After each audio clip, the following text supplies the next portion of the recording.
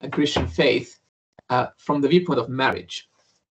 And I think I gave something like a heavenly marriage as a uh, or a marriage in heaven as a topic for for Celia uh, when when she was asking for a title to share with you guys. And, and I hope we will do something something like that. Now you might remember already where where this kind of language comes from um, when we talk about heavenly marriage or or marriage in heaven.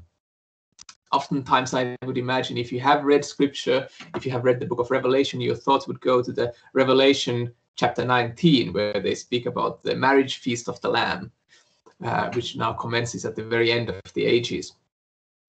But there's actually in, in scripture, there's much, much, much more uh, material where the relationship between uh, church and, and God and Christ is, is described through the imagery of marriage, or sometimes also engagement. Um, engagement and marriage sort of overlap here. Now, we will be looking at this topic through five, let's say, um, five little stops. First, we look at the marriage and a couple of Bible passages, uh, speaking of it, uh, and how that is, is used as a, as a image uh, for, for Christian faith in life. We, we say a few things about the bridal mysticism, faith as a union between Christ and the believer, uh, then we make a quick stop at the sanctification and make it, maybe wrap it up with uh, with few words of existentialism.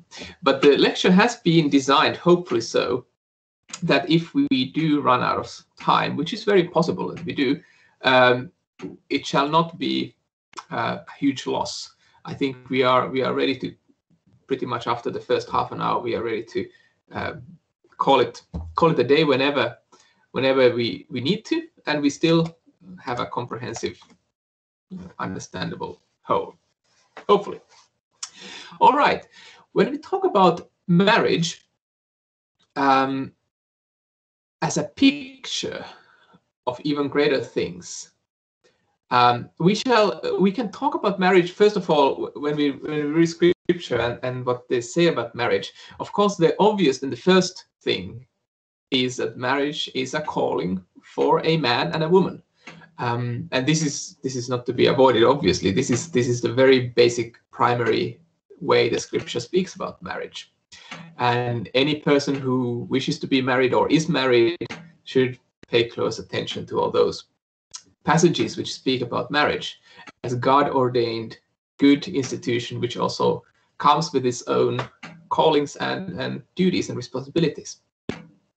But when it comes to marriage as as we commonly have it between man and wife, we won't be looking at that too much today. And this is not to say that this is uh, less valuable, but it's it's not the topic for today. I think we shall have in, in, in the history of Corpus Christi we have had, and we will have in the future also many times when we talk about marriage, as it happens between human beings. Uh, but but for today the topic is different.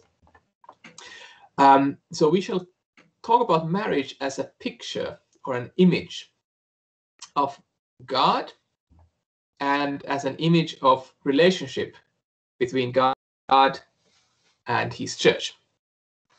And before we go into that, we have to maybe say a few words about generally images or or examples or types as it's also called. When we speak of images, we need to understand what is an image of what.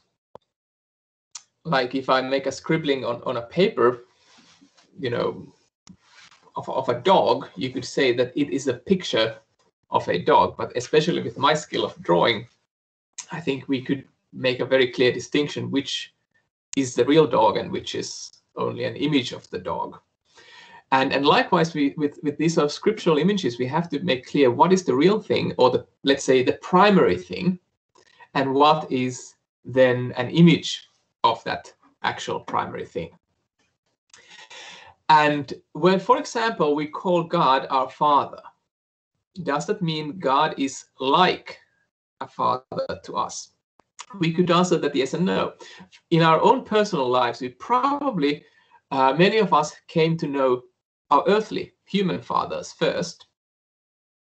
And when then somebody told me, uh, told us that God is our father, we reflected what we heard through what we already knew about our own father. So we sort of understood, okay, if God is father, then he must be something like my dad, or there's something similar at least there.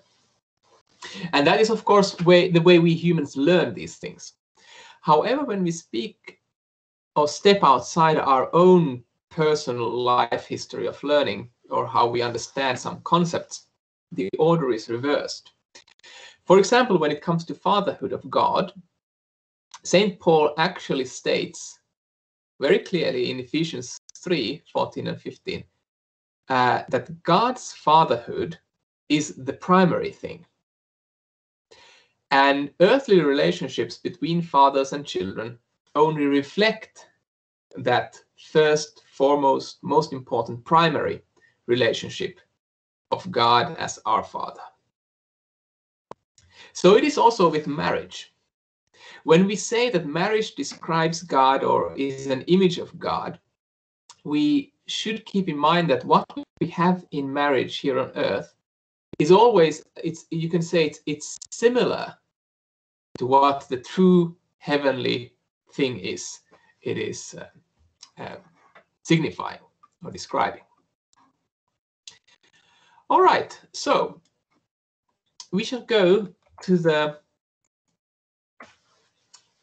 first chapters in, in scripture where we where we already discover uh, creation of marriage. And uh, it's already in the very very creation of, of, of the world and, and human life here. And I'll, I'll just put it here. So god created man in his own image. In the image of god he created him. Male and female he created them now this is an important verse oftentimes when we speak about human dignity or human value because it shows that the man or, or humankind or humans uh, are an image of God. And that what that means is again a topic for another study. Um, again, we have to see here how the images go. Man is an image of God. So God is the primary thing, and a human being is an image of that God. It's not the other way around. God is not an image of man, even though you could say that sometimes theologians who are overly fascinated with psychology uh, and, and not so fascinated with, with scripture can go into that extreme saying that God is actually a reflection of man. Uh, God is an image of man rather than man being an image of God. Okay, but we don't think that way. God is a primary uh, thing and man is an image of, of, of him. This being an image of God takes place especially in the fact that male and female, he created them. It is not just a coincidence that in the very same sentence or, or verse, God immediately immediately brings forth the the difference between man and woman and and the difference and unity eh, one could say that together man and woman together they are an image of god. Marriage is an image of god's own being therefore. But how is it so? Now one way we could look at it could be to see how in marriage two perfectly independent complete and true persons are joined together, fully, united with one another, so that they become one. As Jesus says, they are no longer two, but they are one. Yet everybody who is married and and you know even you if you know any married people we know that this oneness what christ says they are no longer two but they are one uh, even in this oneness, their individual personhood remains. Their souls and hearts and consciences, uh, their thoughts, their personalities are, you could say, united but not mixed with each other, so that the man doesn't become the woman and the woman doesn't become the man, or they don't get mushed into some sort of a monstrosity. But but they are united with one another, so that they are no longer two, but they are one. Yet still they remain uh, individual persons. Now, I don't know how how well this this media really gives us a chance to ask questions, uh, gives chance for me to ask questions from you person uh, people there. But uh, anyone want to make a guess of how does this then uh, work as an image of God?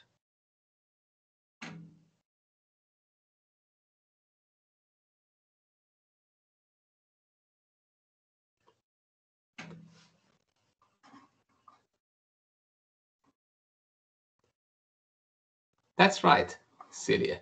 Trinity. So in the doctrine of Trinity, the church confesses scripturally that God is three persons, Father, Son, and Holy Ghost, but he is one undivided nature or essence. So we can say at the same time that God is one. He's not three, but he's one. And yet uh, Father is not the same as the Son, and the Son is not the same as the Holy Ghost, and so on. That inside the Trinity there are distinct, real persons, yet they are united completely and utterly so that there are no three gods, but there is only one. So, in this sense, you can say that the marriage is an image of God's own very being.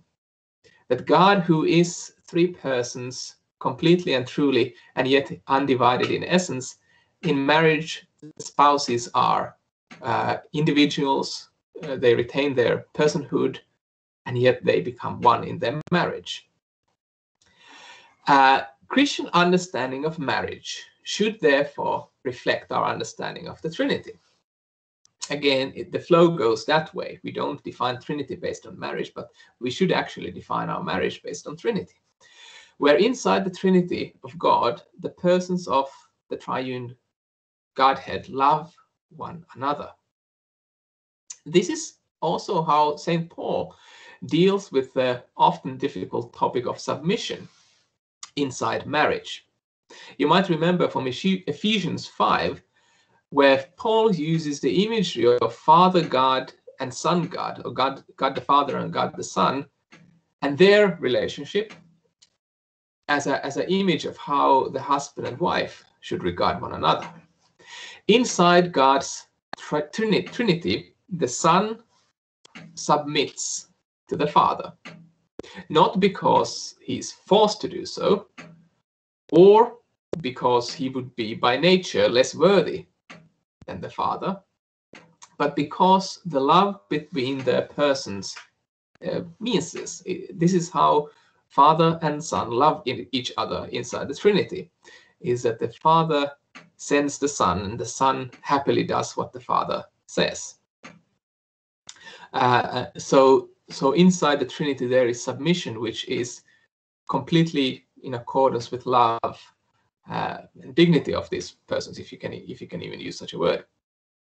Likewise, should submission in Christian marriage take place in a similar way, not through any kind of coercion or struggle for power, but following this pattern of God's trin Trinity and the persons submitting joyfully and, and happily to each other. Now, as we understand, this is definitely a place where we see how all human images are distorted by sin, and therefore their ability to accurately describe or reflect their original purpose is hindered. We can only say, uh, you know, in a, in a very qualified sense these days that marriage reflects God's internal being because often human marriages are full of misunderstandings and, and hurt feelings and, and that kind of things. But this is more of a case where our marriages do not uh, are not the kind of marriages they were meant to be, but rather show how sin is working in our lives. And this is a, maybe a little bit of an experimental thought. Um, don't quote me on this, but maybe you can you can just wonder about it together with me. Uh, it might be that, for example, in Islam, where there is no room for God's Trinity. Uh, also, the understanding of the relationship between man and woman is is different. I wonder if that has something to do with it, that the Christian understanding of marriage is modified and, and transformed by Christian understanding of God's Trinity, where submission happens through love, uh, not through coercion, and there happens complete unity between independent beings. And, and, and this has produced in Christian culture and life certain kind of understanding of marriage, even with all the sin and everything.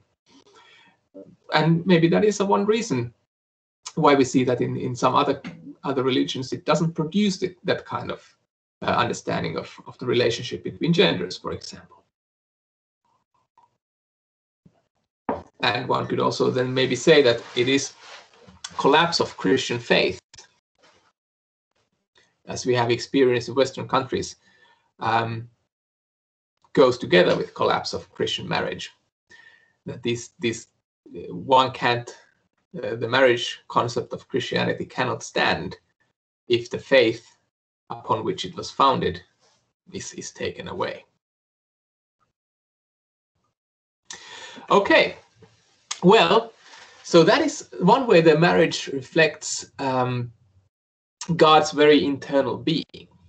But then there is also marriage as God's relationship towards his church. The church is throughout the scriptures described with feminine imagery. Uh, 2 Corinthians 11 2, Paul calls the relationship between the church and Christ as an engagement agreement, where he, that is Paul, serves as the uh, serves the bridegroom by guarding the bride against her enemies and any, any temptations that might be thrown at her. It is not a coincidence that marriage and wedding is probably the most used picture in all Christ's parables.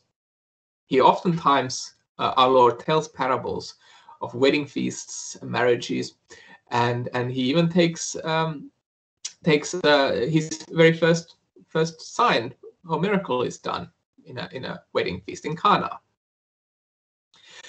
Saint Paul reflects this in Ephesians 5, where he says in Ephesians 5:32 uh, concerning marriage, he states, This mystery is profound, and I am saying that it refers to Christ and the church. So, human marriage, even in all its brokenness, still refers and points to something great, something greater, something more, even more substantial.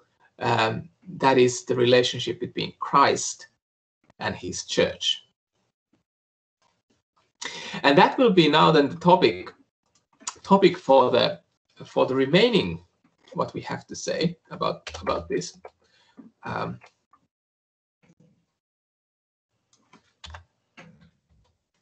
um, about this topic, we will now go into this this relationship between God and church, and also God and an individual believer.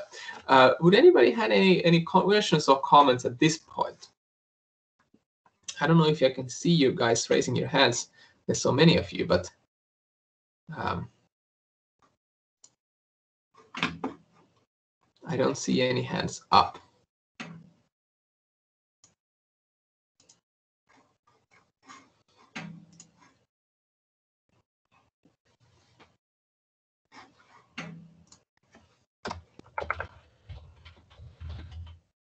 Okay, let's go forward then we have a topic called bridal mysticism. Bridal means something to do with bride or, or, or marriage or something like this. Now, the imagery of marriage as a, as a, as a describing God and, and his saving work in the old church, old Christianity, was usually used on the level of collective or, or group. That means the church as a group, the church as a whole, was compared to a bride, like, like Paul does in Ephesians 5, uh, which the groom, Christ, would then take as his wife. Uh, interesting shift then takes place uh, with a person called Bernard of Clairvaux, around high Middle Ages. And I'm not saying that this is a bad shift. This is just a kind of an interesting, interesting development. Uh, and and Bernard of Clairvaux started to read the Song of Solomon, the the what's that in other languages, the the high song, the high. Yeah. Anyhow, that that part, that book in the Old Testament, which talks about the love between man and wife, but quite a lot. Uh, Bernard of Clairvaux started to read the Song of Solomon as an allegory of the relationship between an individual believer and Jesus Christ. And Bernard had this idea of bridal mysticism, which begins with a believer becoming humbled by the deceitfulness of this world, suffering hardships, and gradually the soul comes to realize that only in God true happiness can be found. Christ gradually becomes more pleasing and desirable to the soul, which then turns away from the petty pleasures of this world. At the same time, the soul adorns itself with good works, virtues, and piety, and, and makes with these kind of good works, uh, it makes itself pleasing and beautiful to Christ. So, so this is kind of a image of a, of a, of a human soul, uh, you know, say kind of kind of preparing for a big date night and putting on putting on uh, makeup and new stockings. Uh, good works and, and, and, and praise for Christ. Now, Martin Luther, who, who generally speaking read quite a bit of Bernard of Clairvaux, um, he, he borrowed from Bernard's works, very probably, this very idea uh, for his own writing on the Christian liberty from 1520.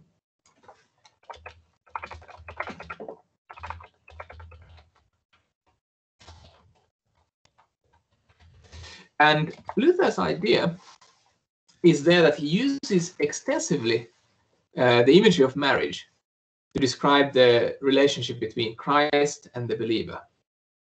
And Luther's, Luther's way of, of using this bridal imagery shares many similarities with Bernard, but uh, there is also some quite fundamental differences in how this relationship uh, is described. And I think those differences are very interesting and they reveal something quite profound about how Lutherans understand God's grace and and and in a in a scriptural scripturally sound manner, I, I would say.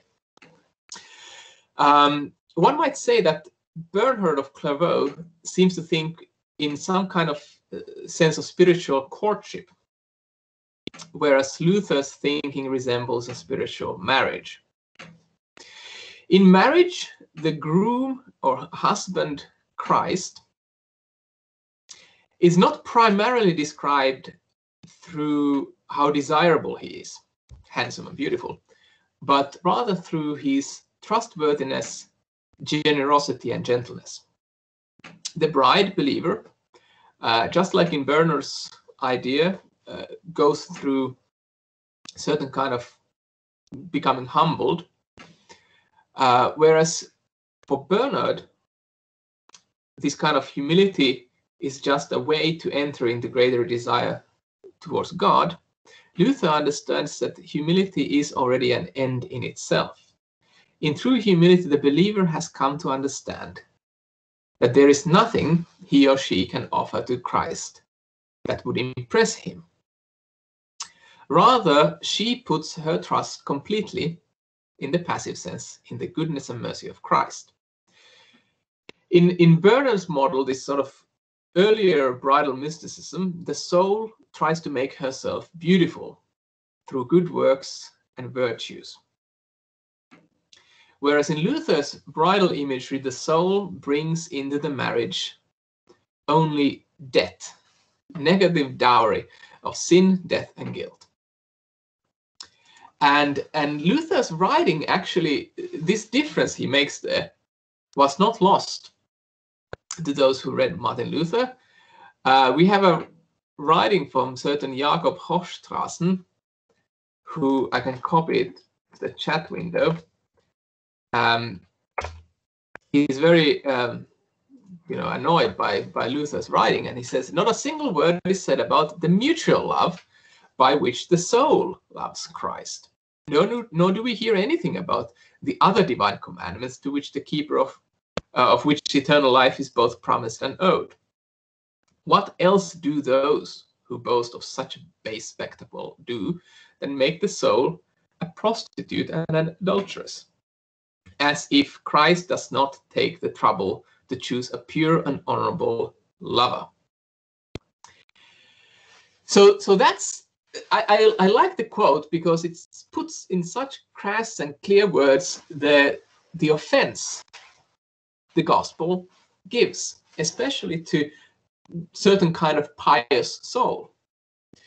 Um, this this Jakob Hochstrassen is offended on behalf of Christ because in, in Luther's writings it seems like like like Jesus is is likened almost to a a little bit of a dim-witted but rich guy who cannot see the the the that that he's actually dating a very bad girl and that he's going out with a with a woman who really he shouldn't be going out with and this is going to end up badly i don't know if you you've ever been in a situation where your good friend is it has been fallen fallen in love with a person they really really shouldn't be hanging out with but it seems like this Hochstrasse guy has exactly this kind of scandal that in luther's writings it seems like he's making Christ uh, marry below him, as they say in Jane Austen novels. You know, marry below yourself.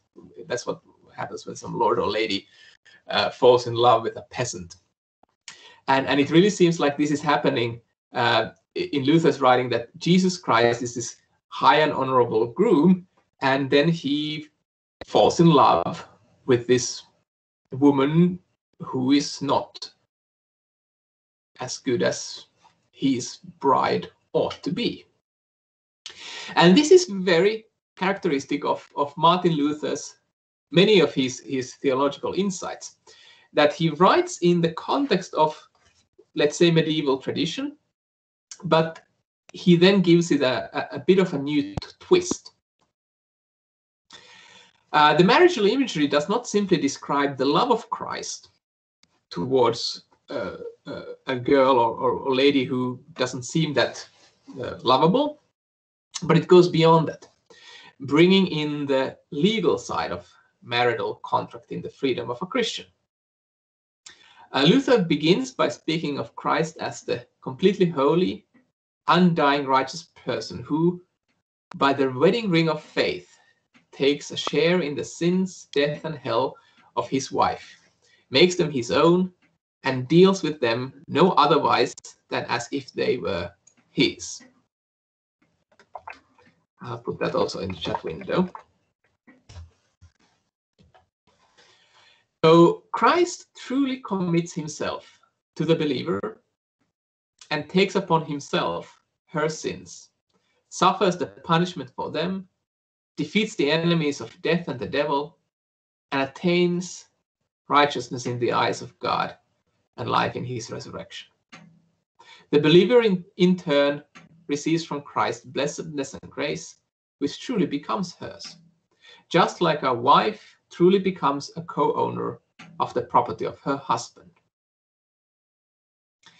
Thus, the believing soul, by the pledge of its faith in Christ, becomes free from all sin, fearless of death, safe from hell, and endowed with the eternal righteousness, life, and salvation of its husband, Christ. Thus he presents to himself a glorious bride, truly adorned now with the grace and good works of Christ himself. And this is called a blessed exchange. Um, I'll take another Luther quote from here.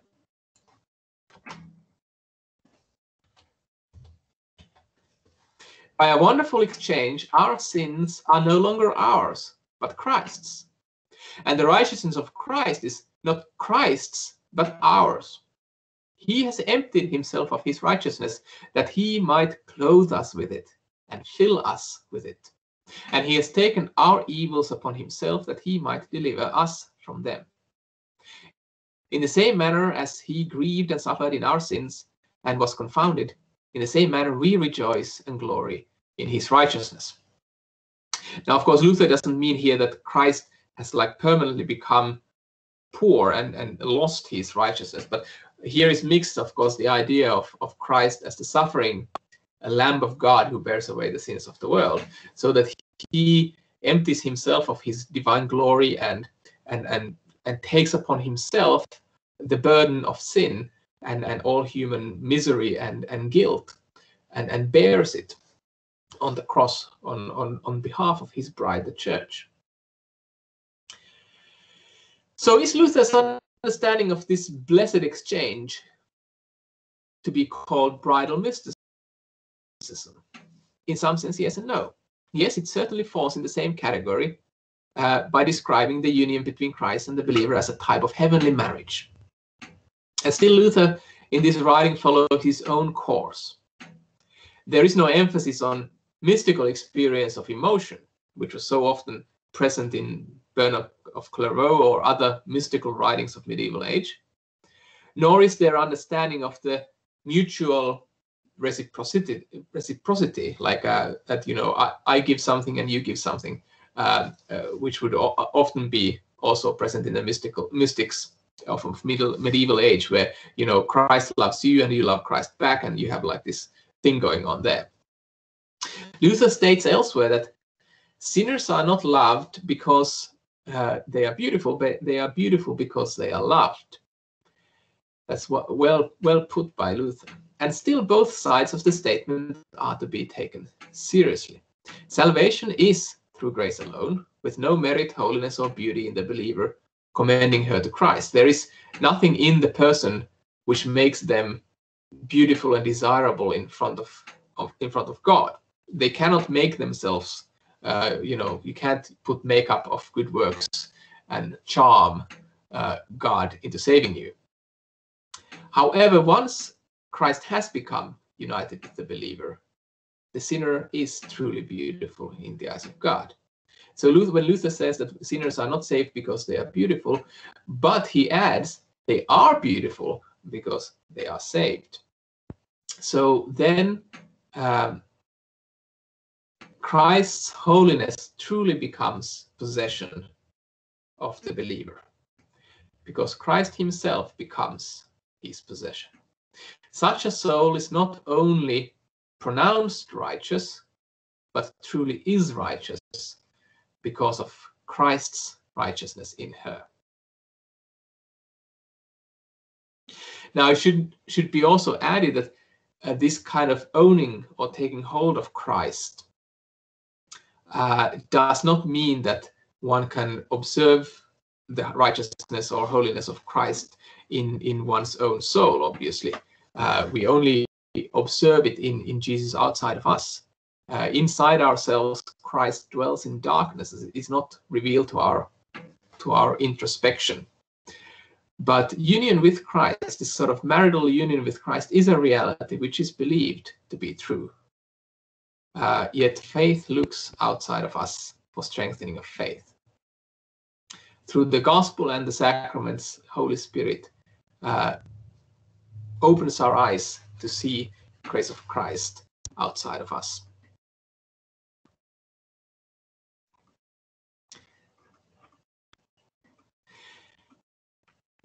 Now,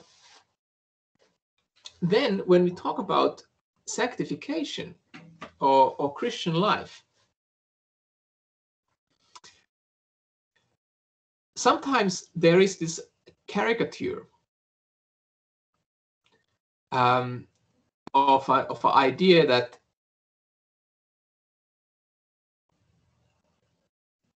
that justification is nothing more than heavenly record keeping uh, trick that you know somebody in heaven puts a, a, little cross in a box in your form which states now uh, that you are not guilty when, previously you were called guilty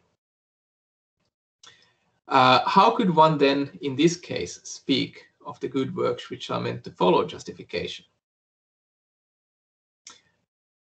Understanding salvation, though, more like a union with, with Christ, this marital union with Christ, uh, brings a new view of, of, of how good works might be possible in Christian life.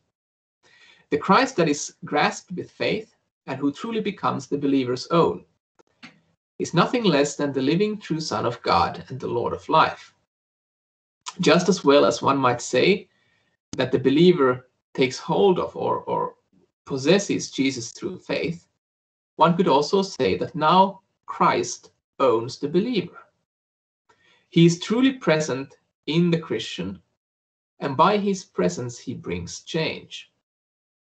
The believer who receives Christ's holiness is changed by that holiness gradually. And of course, observing that change is, is hard or impossible in this life, and it's always um, incomplete in this life. But it is nonetheless true and unavoidable. Luther states, it is impossible to se separate works from faith, quite as impossible as to separate burning and shining from fire, which is to say that where faith has taken place, where Christ has become the Lord of a person, uh, the husband of the soul, then good works and a new life always emerge. Since Christ is actually the source of these good works, the believer can take no pride in them. They can and often are quite hidden. Since Christ comes to dwell in the believer through the word, the regular means of the, gra- uh, the regular use of the means of grace becomes crucially important for any true growth in sanctification and good works. The idea that God has done his part in justification and the believer should then do his parts uh, in sanctification is, is to be avoided. But rather, uh, Christian receives Christ as also the source of all good works. Now we have a we have at least one hand up. Um, so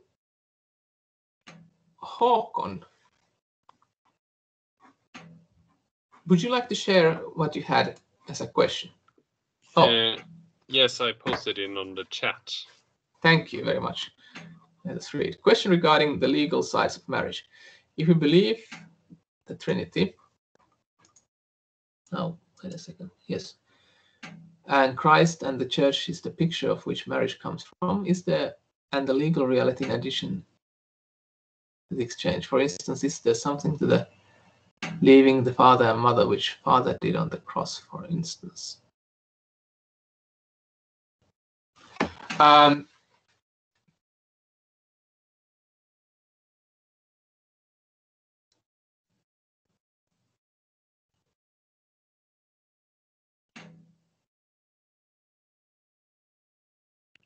Uh, Jesus, can, can, would you would you like to would you like to uh, continue a little bit with that question? Yeah, yeah. I I had some. Uh, I meant which the Jesus did on the cross, of course, not uh, patripassianism here, but um, it it is since our marriage has some legal parts of it, uh, and we believe that uh, the Trinity and Christ Church relationship is the core picture of, of our marriage. Um, what can we say about the legal? You you did you have talked a little bit about it now. The legal side, uh, legal sides of of Christ Church and the Trinity, and you talked about the, the exchange but is there uh, some else reality like like I come, for instance, uh, leaving your father and mother? Uh, this might be a far-fetched one, but we know that he did leave his father on the cross. Mm-hmm. Now, I think uh, as a level of on on the level of, of of language, yes, it sounds very similar. You could say that the as Christ says, like the like the leaves father and mother and joins in, in, in his wife. Indeed, that's actually a very good point you make there. That you could say that Christ left his Father in order that he would come to his bride and, and save her. And, and of course, with this kind of how it's put, it goes only so far because Jesus can't truly leave his father because his father and he are one you know even even his incarnation and even his death and and and all that father and son completely remain as one because they they cannot be separate from each other. But i i think there is something there. Yeah maybe that's a that's a good point to take that it is that uh, of course the son when when son leaves his father and mother he doesn't leave them because he hates them.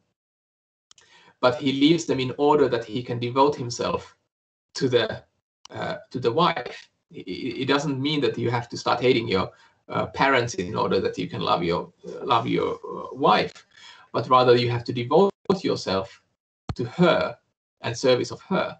And in that sense, you could say that you know the son devotes himself to the service of of his his church with the acceptance and and and the will of his his own father.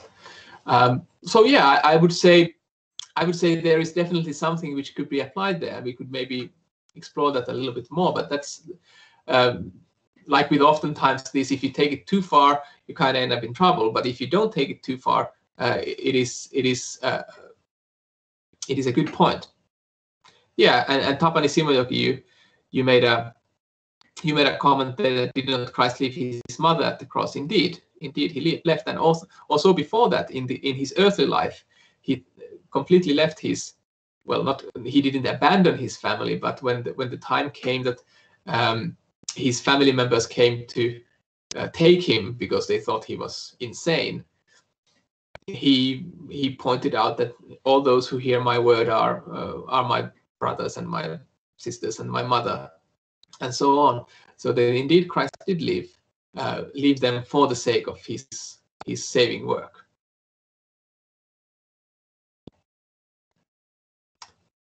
But that's a very good question. Do we have any any other question or comment?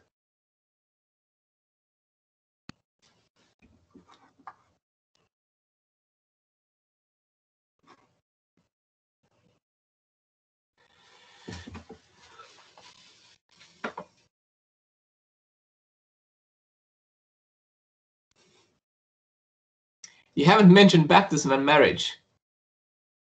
Well, yes, yes, we didn't go into the into the application of of of individual uh, how this takes place. Yeah, that's a very good point. Also, thank you, Tapani. Um, Can I just chip in? Yeah, yes, please go ahead. There's all the marriages at wells throughout the Bible. Oh, at wells. Yes, yes. You actually meant wells. Yes. Do you want to share something about that, Tapani? It just is an intriguing thing throughout. You got all the marriages at wells of of uh, Isaac and Jacob and Moses in the Old Testament, for example, and then all in the New Testament, uh, Christ and the, and the Samaritan woman, and the drawing of water and the promise of the water that Christ gives as a as a as a as, a, as the source of uh, eternal salvation. And then, hey presto, we've got water and blood coming out of Christ. immediately after he leaves his mother and next thing we know, we are being baptized into Christ, mm-hmm. which is a union. That's a good point. That uh, I mean, oftentimes you, when you preach about the Samaritan woman at the well, you bring up Jacob and and and, and Moses and say, you know, the well is the place of of of, of love and and and meeting your wife there. But actually, it, it might be that it's it's it's well for a very specific purpose. That it's not a it's not a stable or a or a field, but it's rather the place where you draw water because it is Christ's intention that through water and washing of the water, he presents to himself a, a bride. As, as again, uh, Ephesians 5 talks about, that it is through the washing uh, that he presents to himself this bride glorious and without any stain or wrinkle. A very, very good point. And of course, then when you go into the other sacrament, the Lord's Supper, uh, the wedding is talked always as a wedding feast and, and, wedding uh, celebration. And also that's how the Revelation 19 describes it, that, that the wedding feast of the Lamb has, has started. And it is oftentimes, at least around here in Finland, in our diocese, many pastors, when the when the Lord's table has been set, when they when they invite the the the, the congregants to come forth, they sometimes use the words, uh, "Blessed are those who are uh, invited to the table uh, to the wedding feast of the Lamb," and and that is indeed the case. That that the, that the Lord's Supper already is a foretaste of the great wedding feast that takes place in in, in heaven. Mm -hmm. So it, it's, it's also there.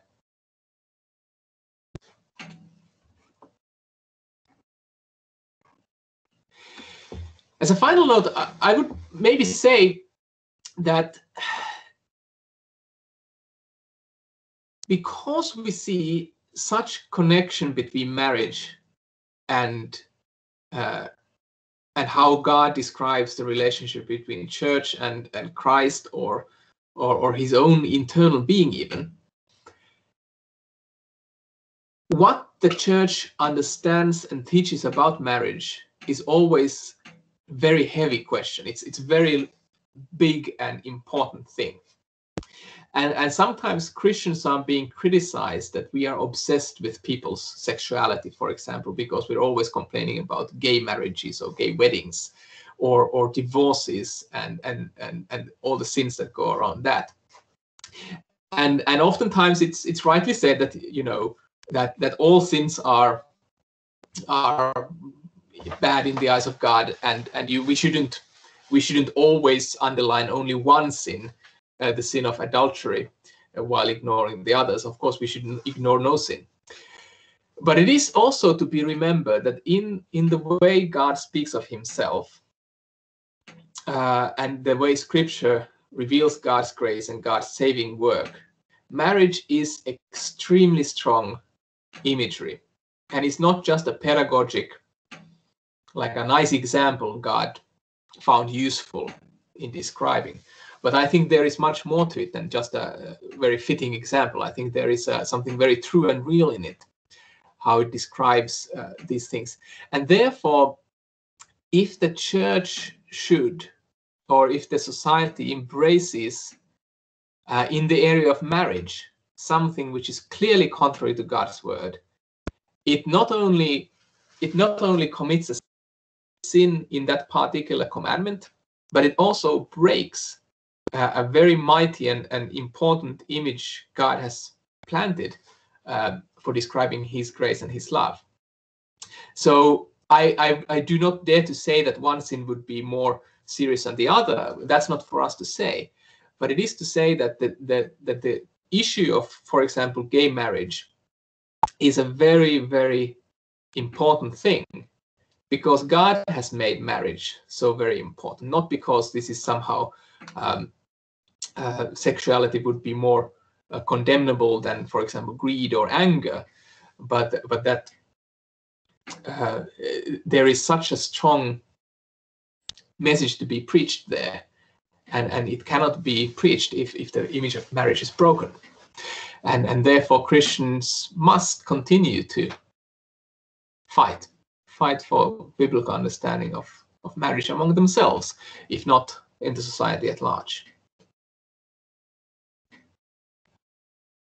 All right, I think I've probably come to the end of my my lecture time, and of course, lots was left unsaid.